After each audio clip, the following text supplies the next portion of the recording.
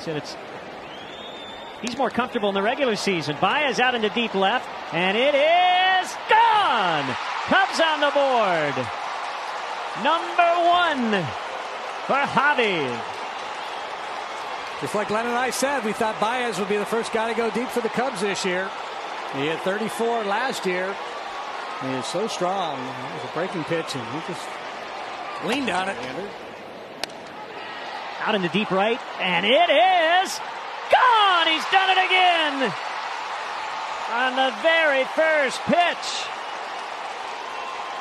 Seven to two. Pulled the breaking ball first time. Now he goes the other way off Chavez. And you could tell by Mazara's reaction and right.